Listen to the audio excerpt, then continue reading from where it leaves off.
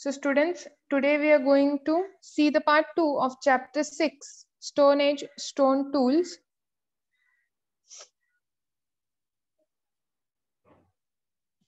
The first part that is the Old Stone Age or Paleolithic Age. In the last lesson, that is lesson number 5, we have seen the Homo habilis. Homo habilis means the one who used their hands skillfully and the Homo erectus the human who stood up straight is known as Homo erectus. They belong to the old Stone Age and they made their tools using percussion technique. And what is percussion technique?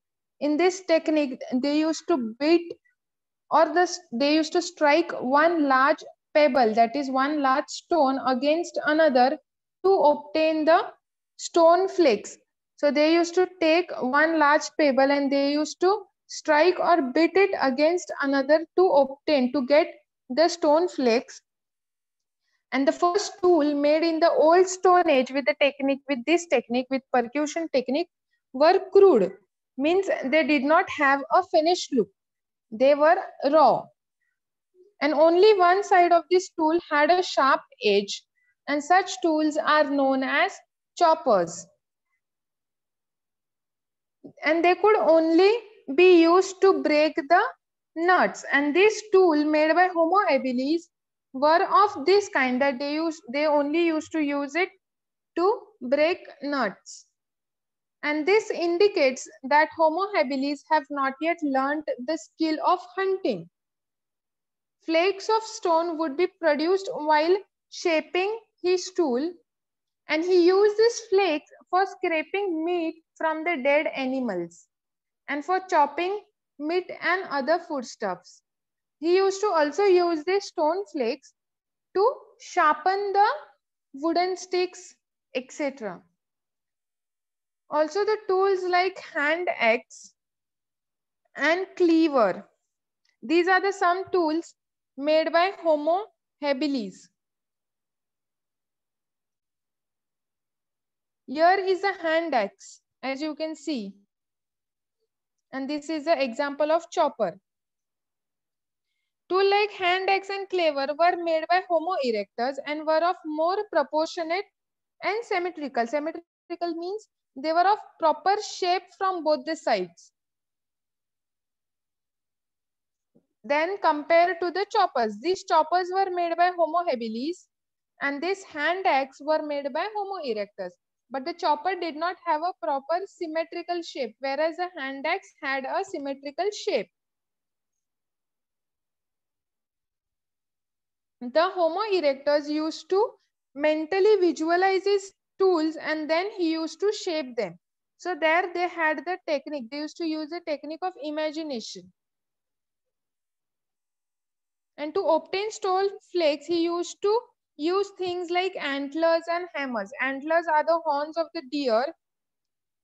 And he further sharpened the edges of those flakes by scraping of the so smaller pieces to make the scrapers with a very sharp edge.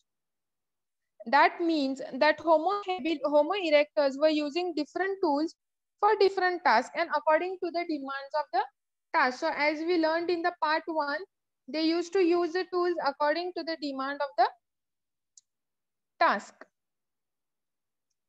And with his improved tools, Homo erectus could have greater variety of food because he could now hunt a variety of big and small animals with the help of his tools. And he used to hunt animals like deer, bison, rabbit. Bison is a hairy wild ox. Then the Neanderthal man Neanderthal man were the human species who lived in Neanderthal. 35,000 years ago, more approximately. And he uh, further progressed in making tools. He began to make smaller tools. Homo sapiens brought about a revolution in technique of making tools that there was a vast difference in their tool making with the period of time and with the evolution of human species. He made various implements like knife, as you can see in the picture, here is a knife. They also made scrapers, borers, and chisels from these long blades. So these are the types of uh, implements made by Homo sapiens. And he also began to use ivory and rare stones of quartz variety for making of tools and other articles. Homo sapiens had made significant progress in gaining knowledge of his environment and in the technique of making tools and obtaining food. And this enabled him to stay in one place for a longer period of time. So he had various techniques to make various types of tools that made him possible to stay in one place for the longer period of time. And the group of Homo sapiens began to build huts and live in them. And they had also started celebrating social festival and many artistic object and cave painting was created by them.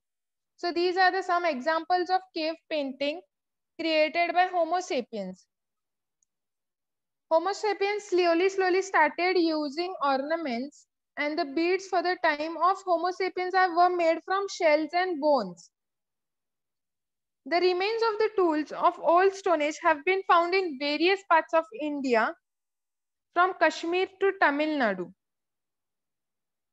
They were also found on the bank of Narmada in the vicinity of Hatnora village near Hoshangabad in Madhya Pradesh. Besides this, the fossilized skull of a child of the Stone Age was found in the village of village near a Puducherry and some remains of Stone Age were also found in Afghanistan, Sri Lanka, Gangapur near Nashik and Chirki Nevasa. Gangapur is on the banks of Godavari river and Chirki Nevasa is in the Pravara basin. So here we come to an end of the part 2. In next part, we will learn in detail about middle stone age and the new stone age. I hope you all have understood the second part.